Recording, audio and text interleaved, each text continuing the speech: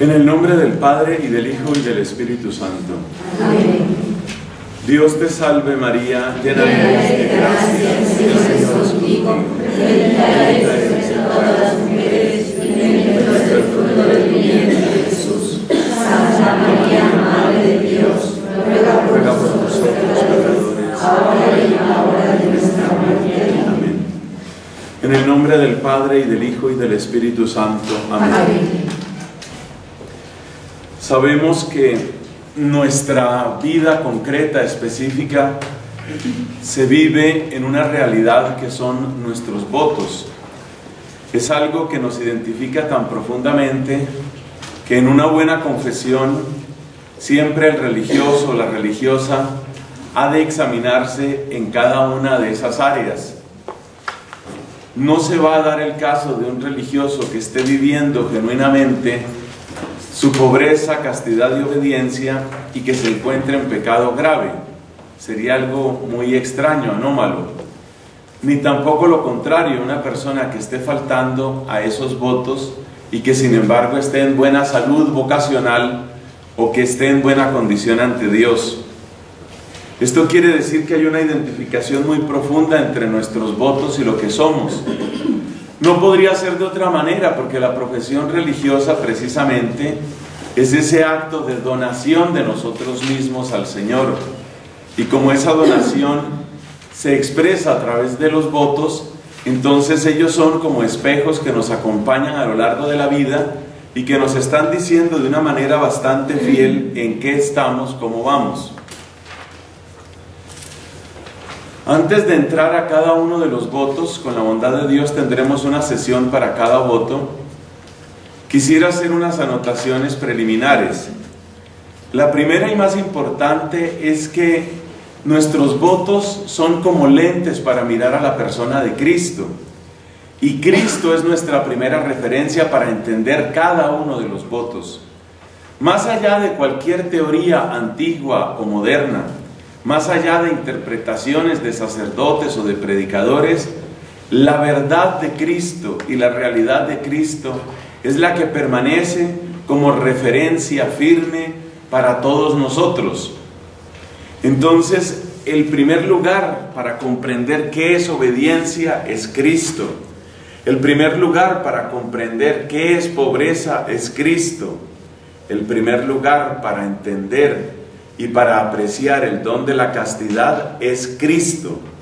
Esa referencia, ese cristocentrismo realmente nos puede salvar de muchas cosas, porque a menudo las condiciones de vida nos llevan a situaciones que son difíciles de discernir o incluso muy ambiguas.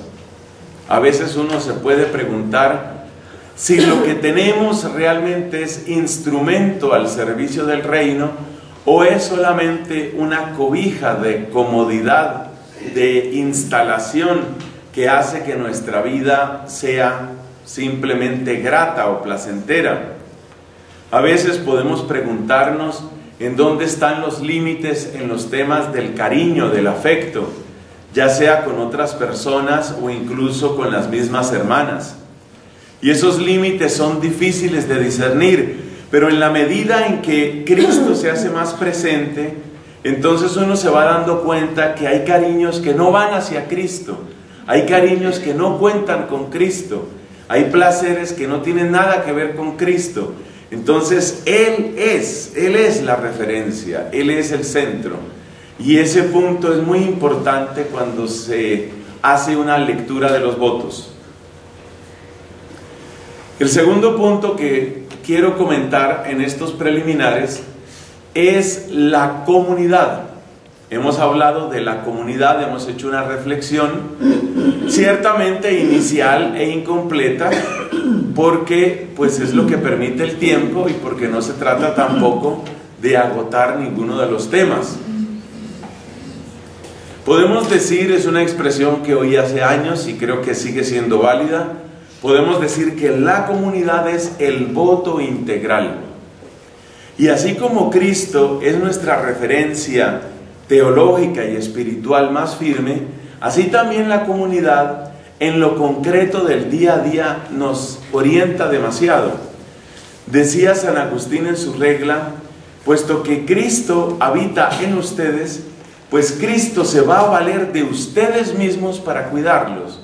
Y eso es verdad. Eso significa que la comunidad es la referencia específica que yo tengo con respecto a la obediencia.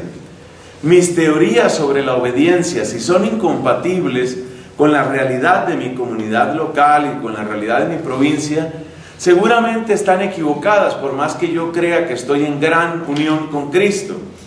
Mis teorías sobre la afectividad, la castidad o la pobreza, de igual manera tienen que pasar por ese filtro de la comunidad. A veces es detestable, a veces es fastidioso sentirnos observados, vigilados, cuidados. A veces nos brotan expresiones como yo no soy un niño, no quiero que me estén vigilando porque andan metiéndose en la vida mía. Pero casi siempre si nos observamos a nosotros mismos y si somos honestos, esas expresiones las decimos cuando algo malo estamos haciendo o cuando estamos a punto de hacerlo. Entonces la persona que lleva una vida transparente, que lleva una vida limpia, que no tiene nada que esconder, usualmente no pronuncia esa clase de palabras. Esas palabras de por qué se meten en mi vida son las palabras típicas del que ya ha empezado a desviarse del camino o quiere, entre comillas, un permiso para desviarse del camino. Entonces, eso confirma lo que venimos diciendo. Realmente la comunidad es una referencia muy grande, muy, muy grande, que nos resulta útil. Por otra parte, no es la referencia última. Ya dijimos que la referencia última es Cristo. Porque la comunidad también tiene el peligro de caer en lo que decíamos en una de las predicaciones anteriores. Es decir, todos nos tapamos con la misma cobija. Todos caemos en la misma mediocridad. Por eso, insisto, la primera referencia, el primer punto siempre será Jesús de Nazaret, siempre será el misterio de su cruz y redención, ese será siempre el primer criterio. Pero aunque sabemos que nuestras comunidades pueden decaer en muchos aspectos, usualmente está tan bien hecha la iglesia, están tan bien hechas nuestras órdenes, nuestras congregaciones, porque son construcciones del Espíritu Santo. Están tan bien hechas las cosas que usualmente en niveles superiores se pueden ver con claridad los defectos que en niveles inferiores queremos ocultar tapándonos con la misma cobija. ¿Qué quiero decir? Es posible que en una comunidad local, por ejemplo, haya un desorden de tipo de castidad o un desorden en la pobreza algo que no corresponde al ideal evangélico. Pero estoy seguro que a la luz de un criterio más alto, por ejemplo, lo que dice un capítulo provincial, lo que sale en una visita canónica, es muy posible que ahí aparezca, en esa otra instancia, aparezca lo que no se quiso ver en el nivel inferior. Y eso es del Espíritu Santo.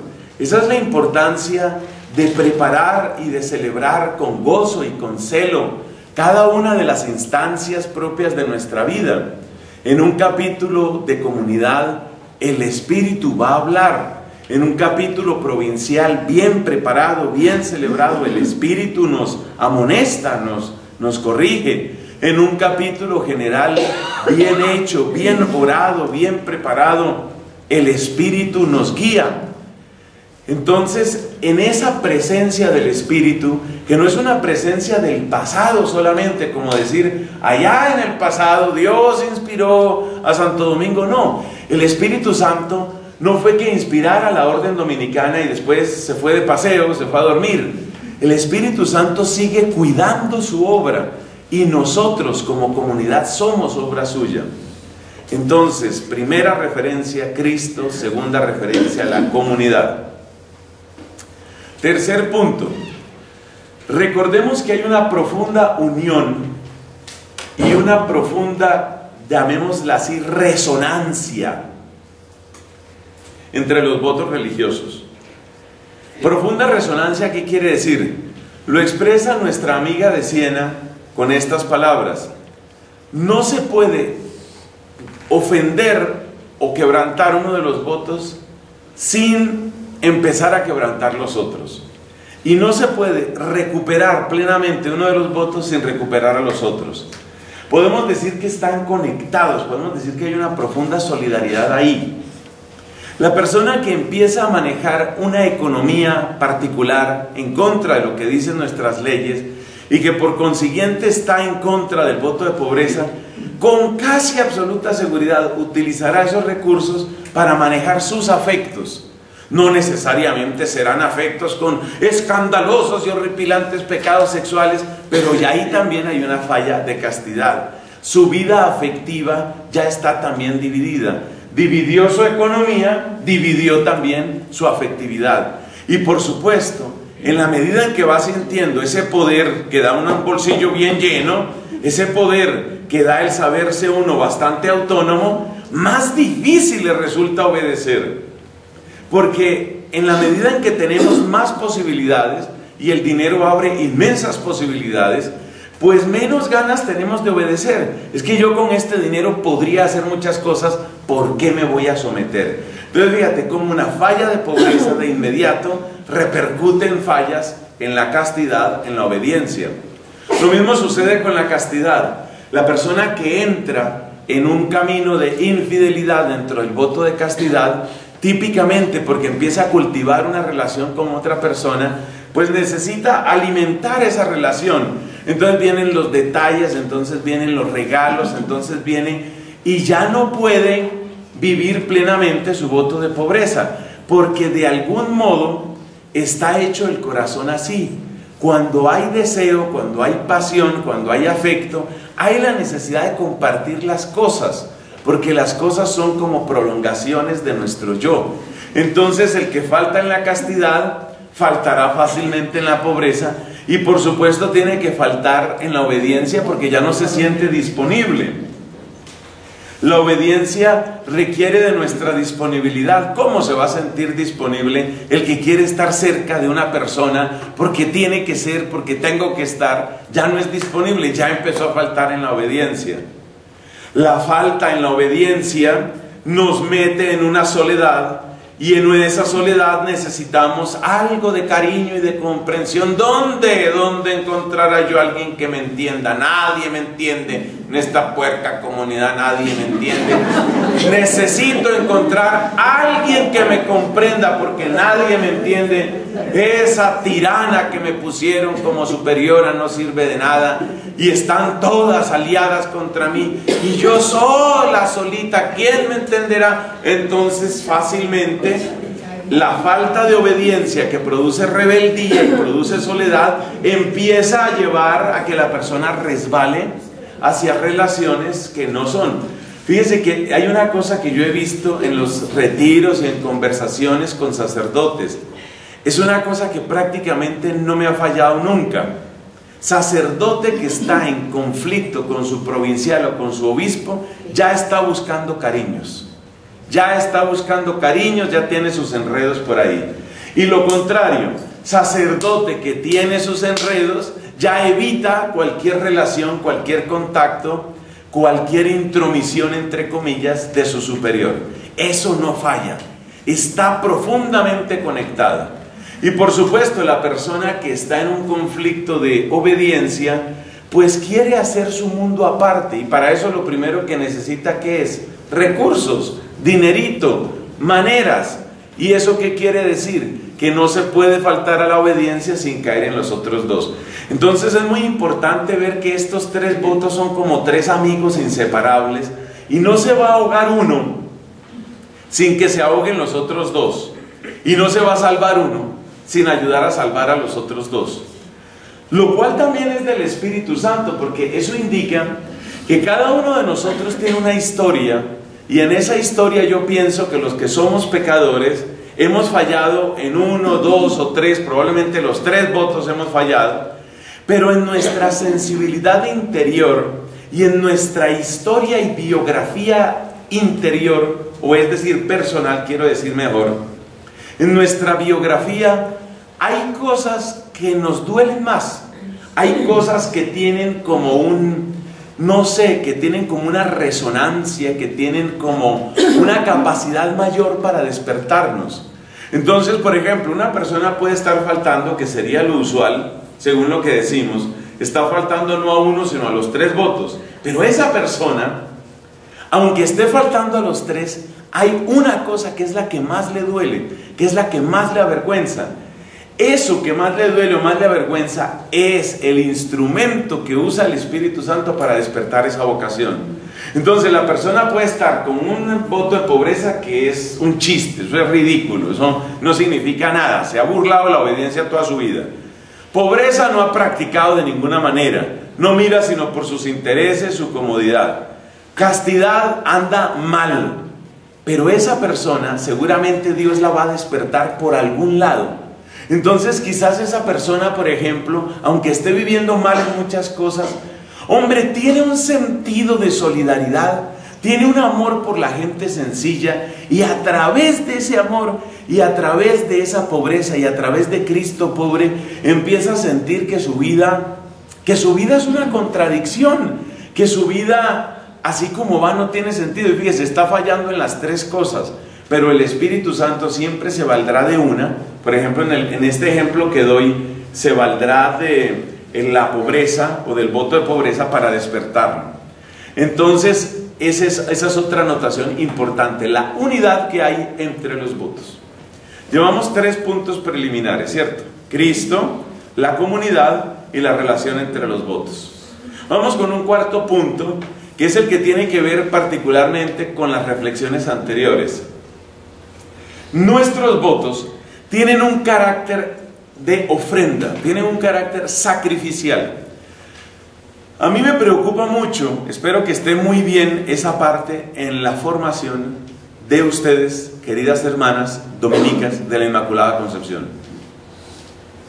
Pero a mí me preocupa mucho que por dar una visión positiva, eso está muy bien, ¿no? Dar una visión positiva de los votos, no se mencionan los aspectos de abnegación, de sacrificio, de ascetismo, de renuncia, de ofrenda.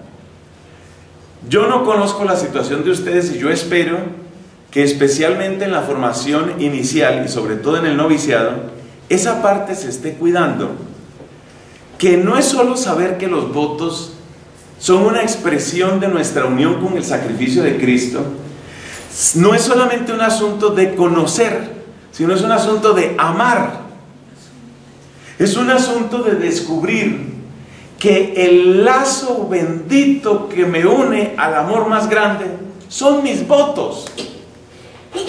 Y eso significa que mi modo particular de expresar, vivir, manifestar y transmitir el amor de la cruz son mis votos.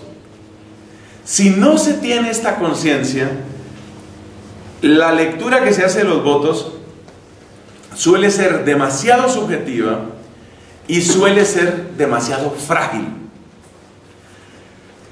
A ver, en esto como en tantas otras cosas se ha pasado de extremos a extremos. Entonces, en una época, en épocas muy pasadas, cuando se iba a hablar de los votos únicamente se mencionaba el aspecto ascético, el aspecto de renuncia. Entonces la obediencia es usted muere a su voluntad. Había una cierta comunidad que, por ejemplo, celebraba, cuando celebraban la profesión religiosa perpetua, entonces en la iglesia del convento, una iglesia pues majestuosa como solían ser las de esa época, había esta costumbre las campanas tocaban a muerto. Murió. El mismo toque de campana que se utilizaba, ¿cierto? Aquí hay algunas que se acuerdan de eso, que saben de eso.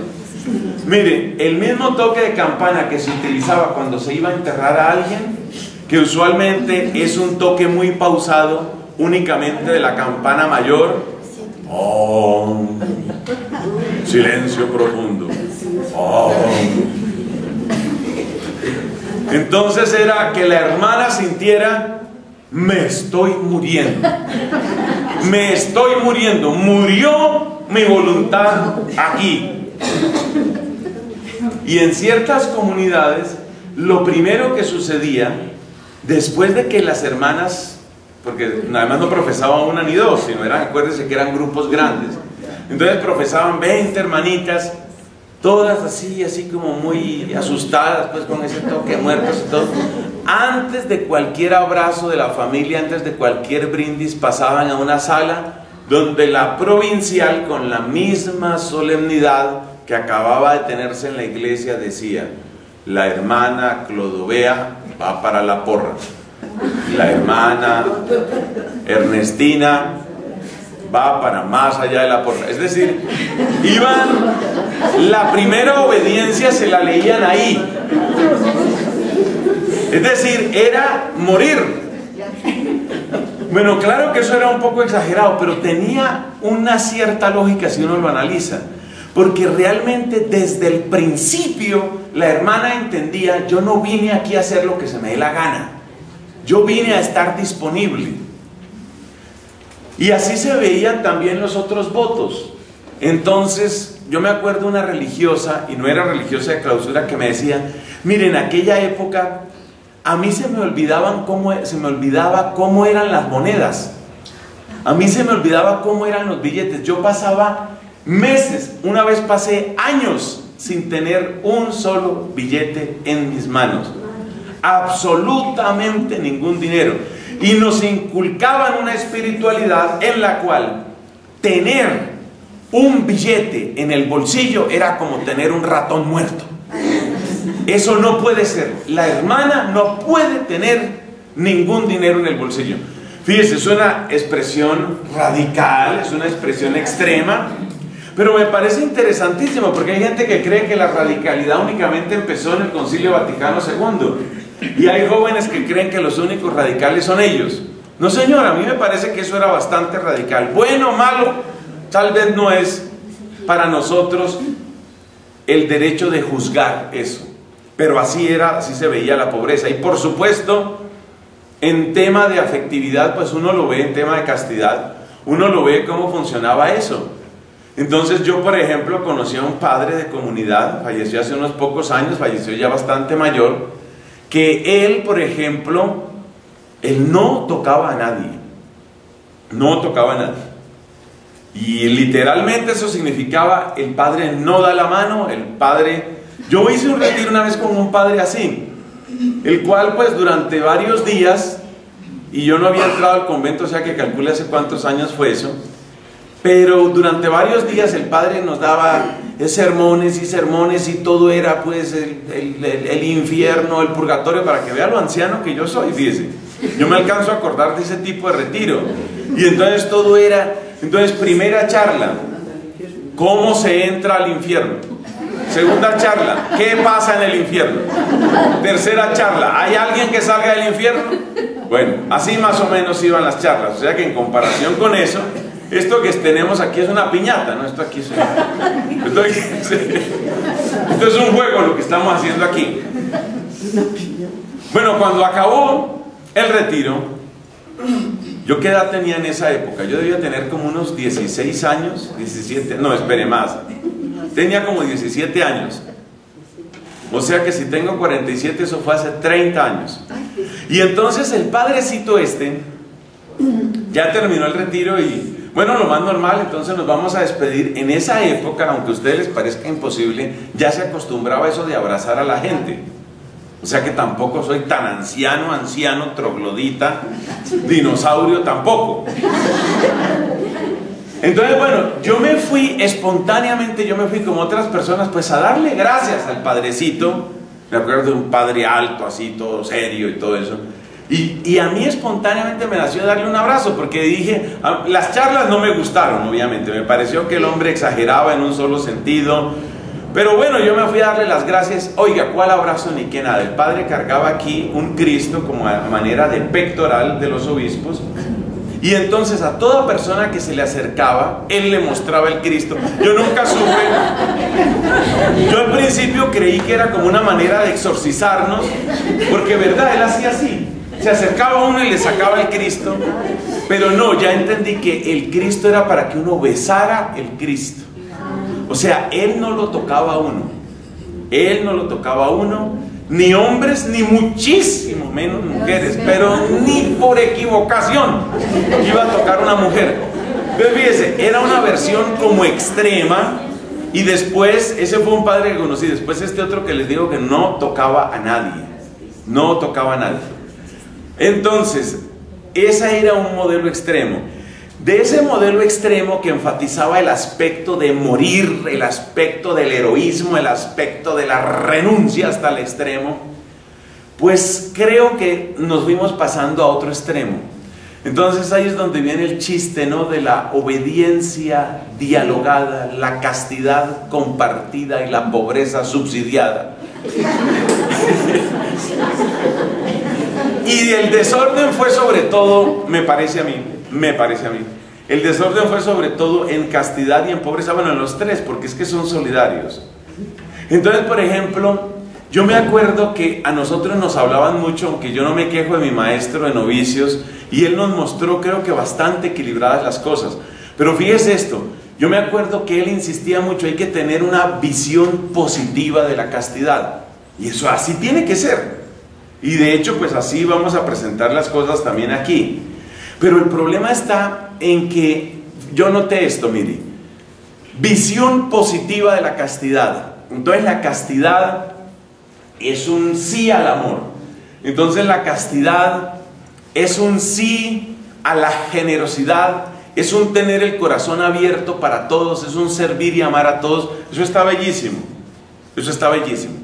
Entonces después por esos días, era yo joven religioso en esa época, y me encontré con una comunidad femenina, que por supuesto no eran ustedes porque las conozco hace poco, y en esa comunidad me acuerdo que la maestra y en el noviciado les insistían mucho en que la castidad era un modo de realización personal, más o menos como esto. Hay personas que tienen su plena felicidad a través del matrimonio, nosotras en esta comunidad tenemos nuestra plena felicidad a través de la castidad. Es decir, la castidad es una manera de ser feliz. Con la castidad usted puede estar muy bien, con la castidad usted va a gozar lo que no se imagina. Bueno, oiga, hay un peligro en esa manera de hablar. Y el peligro es que se le está ocultando a la persona que sí va a tener que luchar. Por supuesto que la castidad es un sí al amor, eso nadie lo duda. Y hoy es indudable que tenemos que presentar la castidad así porque así es.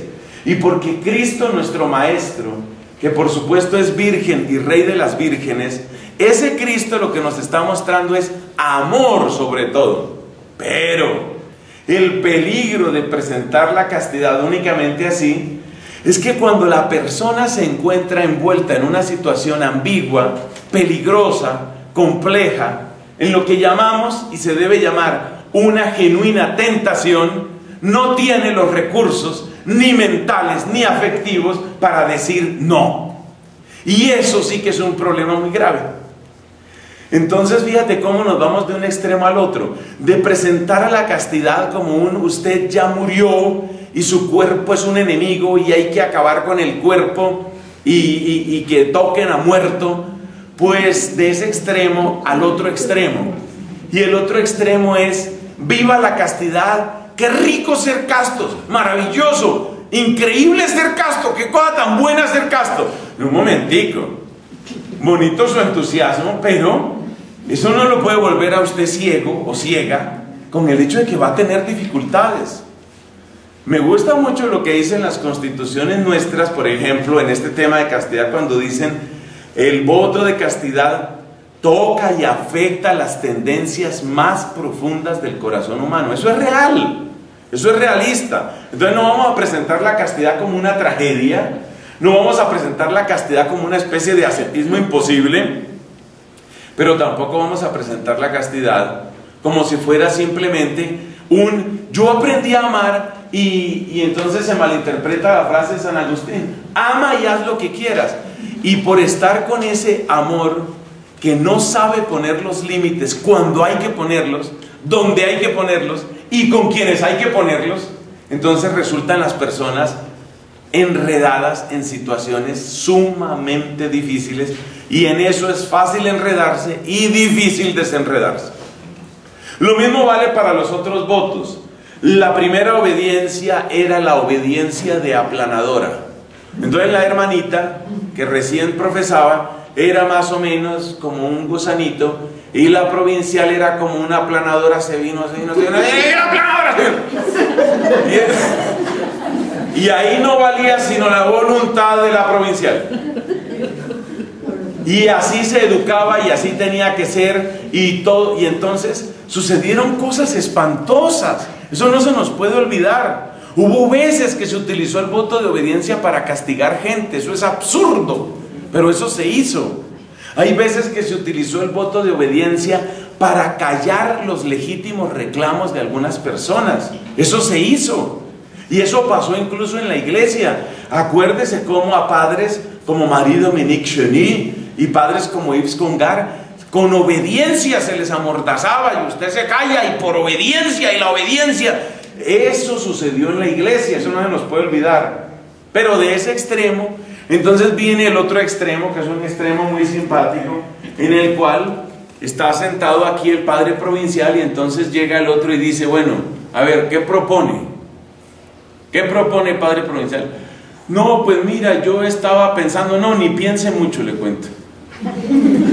Ni, piense mucho, yo ya tengo decidido y yo, mire, si me va a mandar a alguna parte, sepa y entienda, Padre, no perdamos tiempo, sepa y entienda. Yo le iré a tal parte y eso por unos dos años. Y eso por unos dos años. Acuérdense que después me tiene que... Entonces, eso no es obediencia. Es con una arrogancia, es con una prepotencia y es con, y es con una presión psicológica que entonces eso está teniendo un resultado nefasto en nuestras comunidades. Y es que resulta que en la época antigua, ay, qué cosas tan graciosas pasan en la iglesia. En la época antigua a mucha gente le parecía gran cosa ser superior o ser provincial. Ahora vaya a conseguir gente, vaya a conseguir gente que quiera esos cargos. No sé cómo estará la situación entre ustedes. Pero entre nosotros, eso de conseguir, no ve que hasta a mí me nombraron de prior, así estará la situación. ¿Ve? Eso es difícil, es difícil conseguir prior y eligen a la persona y voy a ver y creo que sí, creo que no. ¿Por qué? Porque el prior se ha ido convirtiendo en una persona que tiene únicamente que negociar dentro de unos intereses ya constituidos y eso es muy pesado, eso es muy aburrido. Y entonces los provinciales y los obispos y los, y los eh, superiores y las superioras nunca pueden tener un plan de evangelización porque están siempre apagando incendios y resolviendo presupuestos. Eso es muy horrible ser provincial, eso es muy terrible. A duras penas, claro que también la crisis va mejorando en algunos sitios y yo reconozco que hay cosas que se están haciendo mejor. Pero yo lo he visto porque yo he estado cerca de los provinciales y yo sé lo que es eso. Y eso es terrible porque se les va la vida es apagando incendios y recibiendo llamadas que mire que hay una hermanita que está dando escándalo en tal parte, que mire que aquí hay otro problema que están como perros y gatos, que otra llamó que si no la recibe se suicida, y todo es así y apaga incendios. Entonces las eligen de provinciales y de una vez le dan un balde. ¿Y ese balde para qué? Para que empiece a apagar, a apagar incendios. Oiga, y entre los incendios y los presupuestos y los escándalos, y yo qué hiciera, y ahora qué hago con esta hermana, como me decía una vez ahí, eso me pareció tan tierno, como me decía una vez una superiora general o provincial de una comunidad, me decía, ahí están, ella necesitaba desahogarse con alguien, pobrecita, ¿no? Ahí están otra vez quejándose de la hermana eh, hipoplasia. Están quejándose, oiga, están que se quejan otra vez de la hermana hipoplasia, pero ya les dije, mire, la hermana hipoplasia tiene que estar en alguna comunidad. Se ganaron la rifa ustedes se ganaron la rifa. En alguna parte, o sea, no la puedo votar, ¿qué hago? Como no la puedo votar en alguna parte, Por ahora aguántensela ahí un rato, aguántensela. Y en eso se le va la vida a los superiores y a los provinciales. Y después los jóvenes ardorosos en la fe empiezan a decir, ¿dónde está el plan de predicación de esta comunidad? ¿Dónde está el proyecto nuestro? Esto no tiene proyecto, esto no va para ninguna parte. En parte tienen razón. No vamos para ninguna parte porque nuestros superiores están muy ocupados apagando nuestros incendios, oyendo nuestras quejas, resolviendo nuestros escándalos y tratando de nivelar presupuestos. Si nosotros fuéramos verdaderamente hombres y mujeres de fe, hombres y mujeres que viven sus votos, les aseguro que nuestros superiores podrían tener la cabeza un poco más alta y despejada para decir, por aquí va la evangelización. Pero es que como están las cosas, la mayor parte de los superiores que yo conozco, en esas se la pasan, resolviendo problemas, oyendo quejas, apagando incendios, oyendo sobre escándalos, etcétera, etcétera. Entonces, todo esto es para decir que, todo esto es para decir que nuestros votos son nuestra ofrenda. Y que solamente cuando uno entra en esa conciencia empieza a vivirlos. Y esto nos lleva a la quinta y última anotación preliminar. Esa última anotación es lo que empecé enunciando en la homilía de ayer sobre lo que es cumplir extrínsecamente la voluntad de Dios y cumplir intrínsecamente la voluntad de Dios. Hay un ejemplo que nos puede servir. Como ustedes saben, en el mundo en el que estamos, hay empresas que están continuamente en contrapunteo, tratando de lograr la mayor parte del mercado.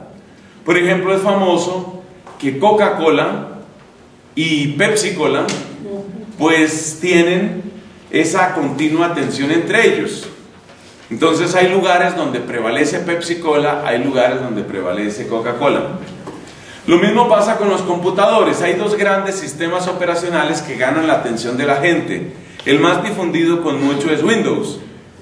Entonces, Windows está en muchísimas partes, en muchísimos países, pero también hay una empresa que se llama Apple y Apple tiene su propio sistema operacional que se llama OS.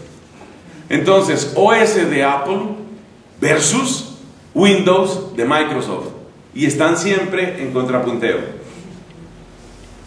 Sucede que ese contrapunteo tiene que ver con la parte de presupuestos, de innovación, de tecnología, pero también tiene que ver con la publicidad.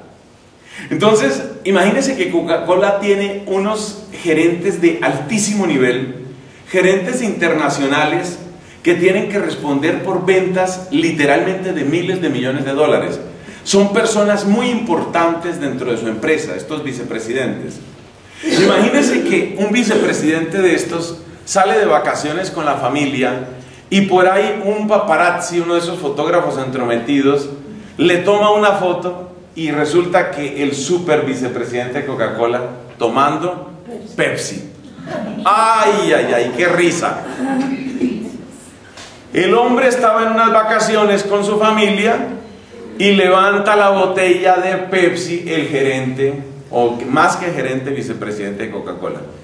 Por supuesto, esa imagen le sirve un montón a Pepsi, porque eso significa, miren, ni siquiera toman de lo que ellos producen.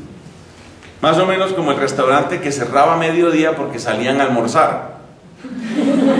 Entonces,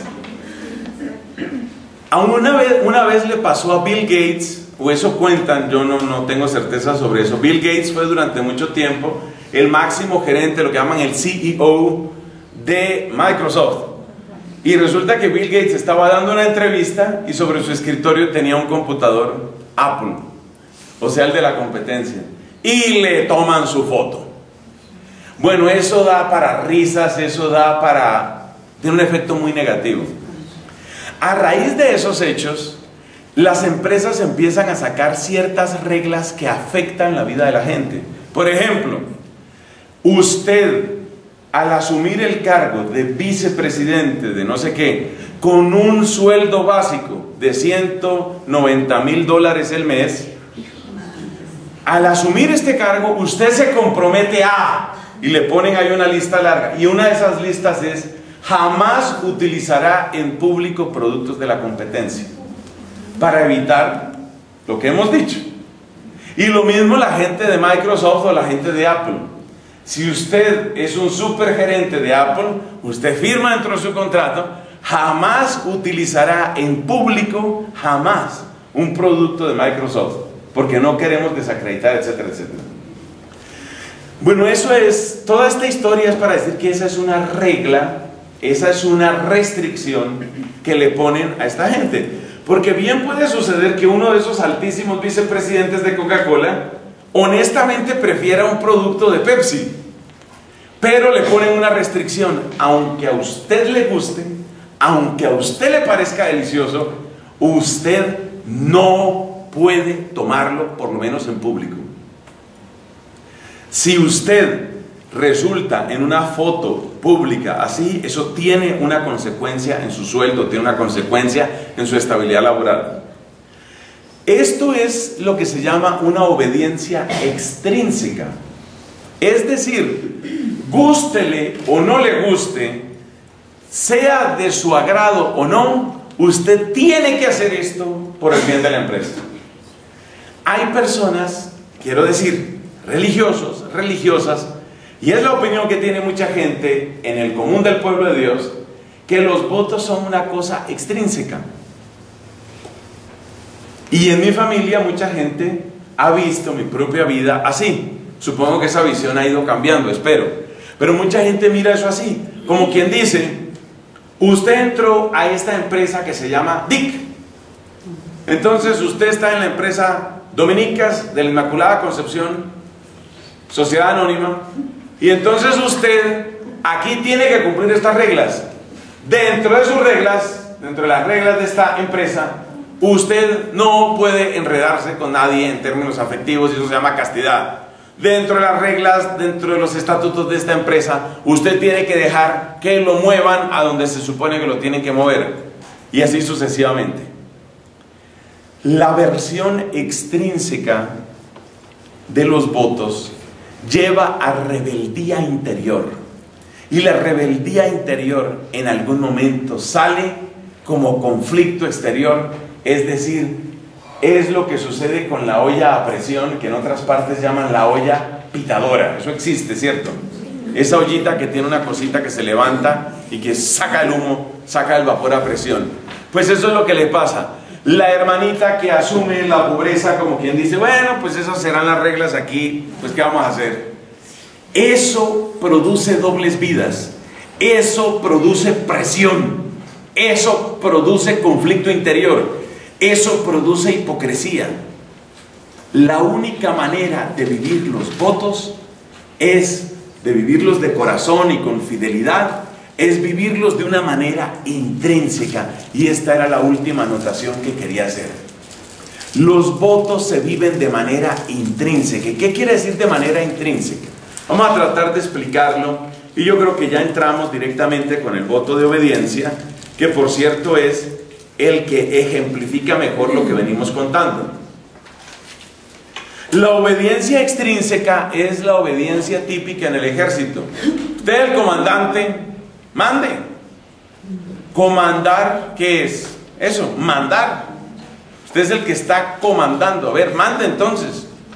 Soldado, haga esto. Hay que hacerlo, listo. Mañana nos levantamos a las 3 y cuarto de la mañana porque hay que subir a ese monte. ¿Entendido, tropa? Entendido, mi capitán, ya. Eso es lo extrínseco. El uno mandó, el otro obedece. Como decía un fraile en mi comunidad, el que manda, manda, aunque mande mal. Ahí está. Esa es la obediencia del ejército, esa es la obediencia extrínseca. ¿En qué consiste la obediencia intrínseca? Nosotros dijimos que todo hace una referencia a Jesucristo. Entonces, la primera obediencia supone, supone no, borre esa palabra, sucede. La primera obediencia sucede cuando usted se rinde ante la persona adorable de Jesucristo. Ese es el presupuesto de toda obediencia. Cuando usted se rinde ante Él, cuando usted reconoce, sin ponerle atajo ni límite alguno, cuando usted reconoce sin ningún talud, sin ninguna muralla, sin ninguna anotación, glosa o pie de página, usted reconoce, Él lo merece todo. Por eso, no puede haber obediencia si no hay primero una potencia maravillosa de amor que es la única que puede producir eso. Obsérvese que el amor es el que engendra la obediencia. El amor engendra la obediencia. Cosa que sucede de igual manera en los matrimonios. Contigo pan y pedazo es un lema que se ha utilizado en algunos sitios para expresar la unión matrimonial.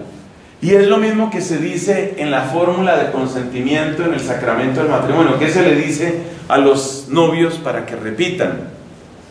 Fulano de tal, aceptas a hipoplasia, fue que dijimos que se llamaba. Aceptas a hipoplasia, empezando por su nombre. La aceptas en la alegría y en el dolor, en la salud y en la enfermedad, en la pobreza y en la prosperidad y prometes serle fiel todos los días de tu vida, más o menos así dice la fórmula del matrimonio. ¿Qué quiere decir eso? Que se le está pidiendo a este hombre, y lo mismo se le pide a la mujer, que amarre su historia a otra historia. Vaya donde vaya él, suceda lo que le suceda a él, ahí estoy. Eso es rendirse, eso es decir, yo no pongo límites atenta contra la unidad del matrimonio el querer poner límites, que es lo que hace la ley civil cuando permite el divorcio. Porque lo que está diciendo es que hay límites. Pero realmente en la intuición original y en el plan original de Dios, el matrimonio no es eso. El matrimonio es en las buenas y en las malas, en todas. Eso es lo que supone la obediencia intrínseca. ¿Dónde empieza? en el amor. Entonces la obediencia empieza en la evangelización. Porque la evangelización es la que despierta el amor. Resulta que la palabra de Dios llega a mí. La palabra de Dios me avasalla, me conquista, me fascina, me enamora, me encanta, me puede. Hay una expresión tan linda que dice la novia en el cantar de los cantares algo parecido a esto. Defiéndanme porque soy atacada con flechas de amor. Qué cosa tan poética, tan hermosa. Eso es lo que siente el corazón cuando Cristo entra con su corcel majestuoso, ese Cristo que aparece en el Apocalipsis, ese Cristo del caballo blanco, ese Cristo majestuoso, entró en mi vida, se me entró en el corazón y no sé cómo sacarlo ni quiero sacarlo. Se me entró en la cabeza, ha fascinado mi historia. Me sedujiste, Señor, y me dejé seducir. Ay de mí si no evangelizara. Yo no lo hago por gusto, es que no tengo remedio. Eso es lo que le sucede a la persona que está conquistada por Cristo. Me conquistaste, me sedujiste, me ganaste. ¿Y yo a dónde ahora? ¿Yo ahora a dónde voy? ¿A dónde voy? ¿A dónde voy que no sea destierro? ¿A dónde voy que no sea amargura?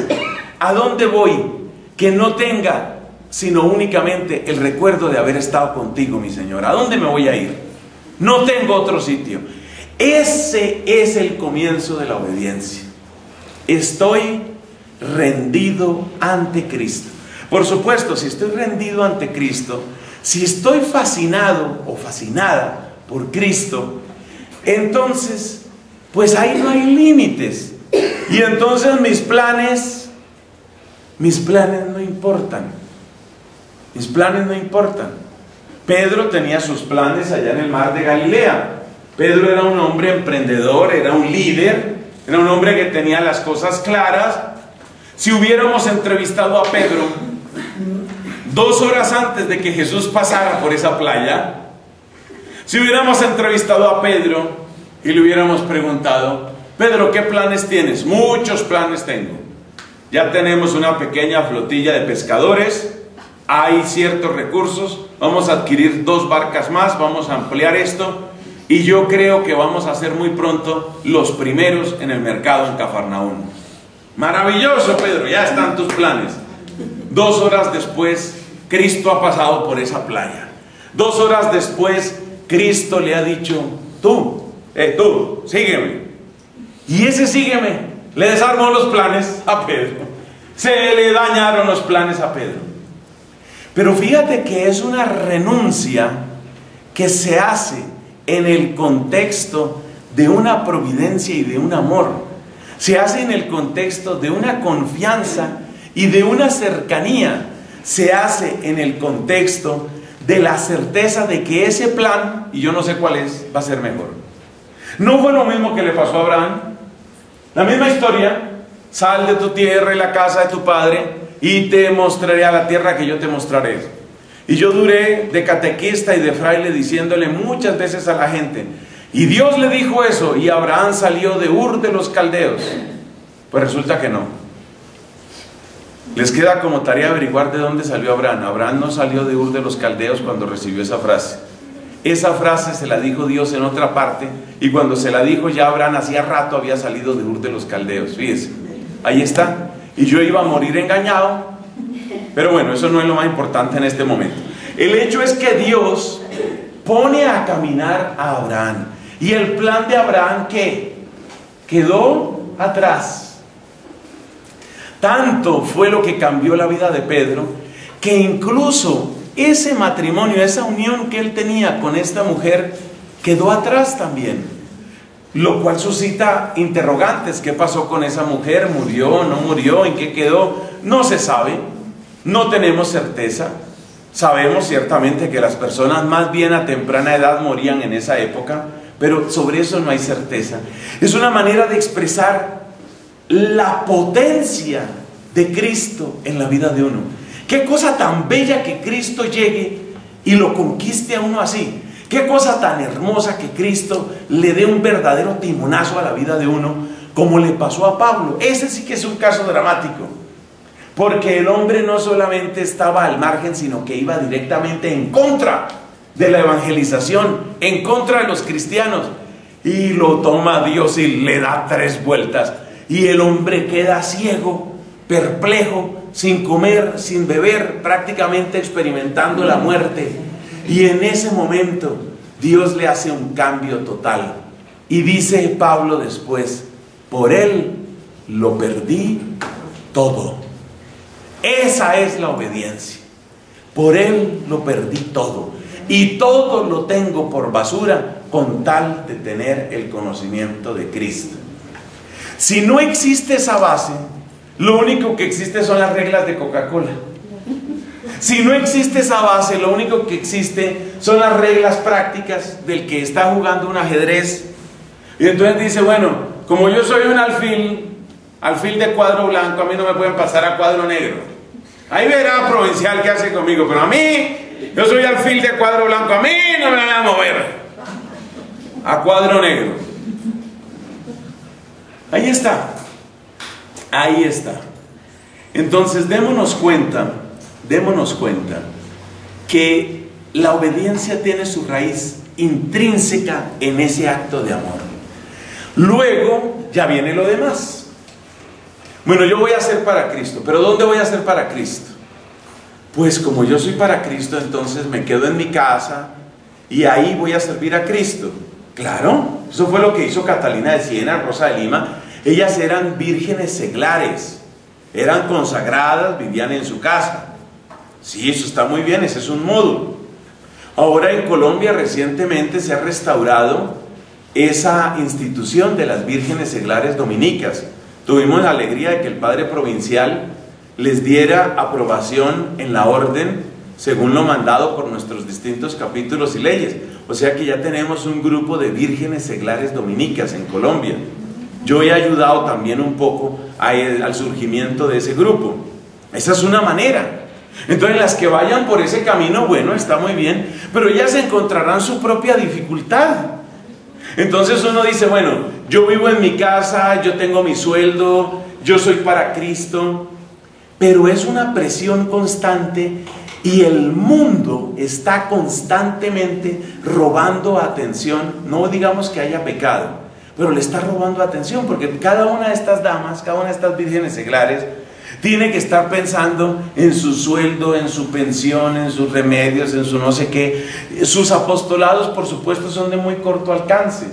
Porque ¿qué puede hacer una persona que tiene un trabajo? La una es secretaria, la otra es profesora, la otra es diseñadora, la otra es no sé qué. ¿Qué va a poder hacer? ¿Qué tiempo tiene para evangelizar?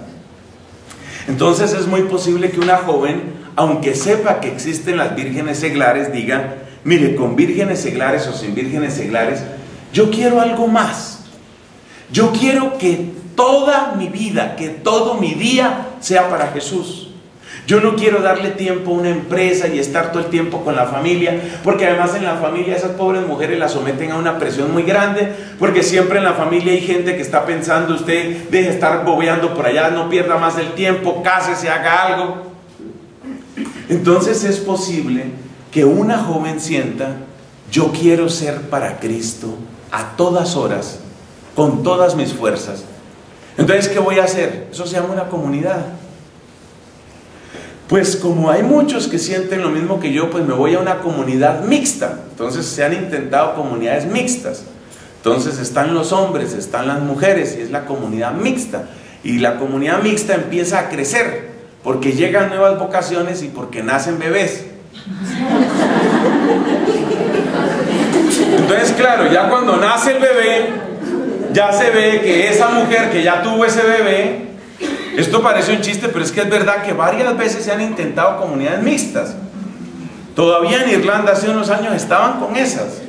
Que hacer comunidad mixta, que vamos con la comunidad mixta. Hombre, el Espíritu Santo ha mostrado muchas veces que no es por ahí. Que las cosas son como son. Porque resulta, y eso lo vamos a ver en el voto de castidad, porque resulta que hay algo muy interesante. Realmente lo que produce el voto de castidad es una vida libre de deseo. Y no se puede presumir una vida libre de deseo en una comunidad mixta. Ese es el punto.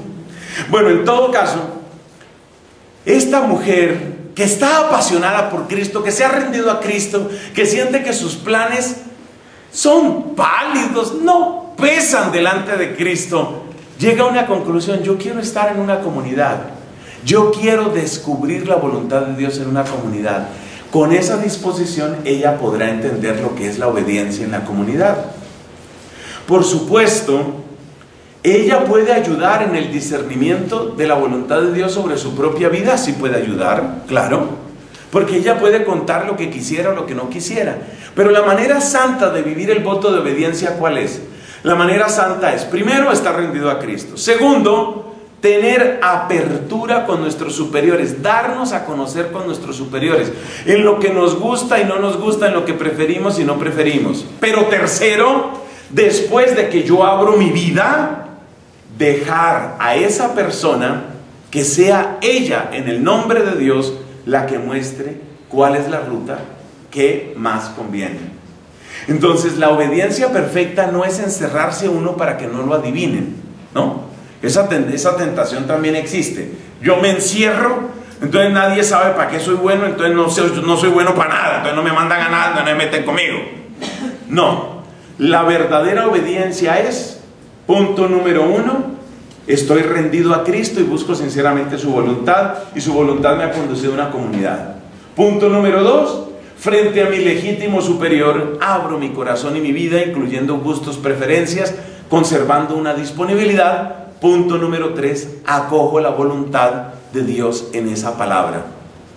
Porque en el fondo esa palabra no interesa tanto. ¿Qué tal esa, esa, cosa tan rara que estoy diciendo? Esa palabra no interesa tanto. Porque en realidad lo que a mí más me interesa no es ni estar aquí, ni aquí, ni aquí. Lo que me interesa más no es estar en A, en B, en C, en X, en Y o en Z. Lo que me interesa a mí es estar con Cristo ¿Y en cuál de los apostolados? ¿En cuál de las casas? en con cuál de las hermanas no podré estar con Cristo. O sea que en la obediencia yo le doy importancia a mi superior, pero mi superior no reemplaza el hecho de que para mí lo esencial, para mí lo bueno es estar junto a Dios, hacer del Señor mi refugio. Entonces yo le doy importancia al superior porque voy descubriendo que hay una pedagogía divina que se manifiesta a través de mi superior. Pero en el fondo no es que mi superior sea dueño de mi vida. Porque en el fondo a cualquier lugar que me mandara, con cualquier comunidad que yo estuviera y en cualquier apostolado que se me encomendara, ahí está Cristo. Si una persona toma en serio que es de Cristo, y si una persona toma en serio que Cristo es su jefe, su líder, su amor, su referencia, su diccionario, su esposo, si una persona toma en serio eso, tiene una libertad tan grande para la obediencia porque no tiene agenda propia, porque no le interesa, porque, pero ¿a dónde, a qué convento o casa me van a mandar donde no esté mi Señor? Gravísimo sería que el superior me mandara a un lugar donde no esté Cristo. Uy, eso sí sería mi tragedia. Pero ¿puede el superior mandarme a un lugar donde no esté Cristo? Eso no puede suceder. Entonces la obediencia de la persona que sigue este camino es una obediencia en una paz muy grande. Y yo les digo, por propia conveniencia, practiquen esa forma de obedecer y ustedes descubrirán lo que es alegría interior. Gloria al Padre, al Hijo y al Espíritu Santo. Siempre, los.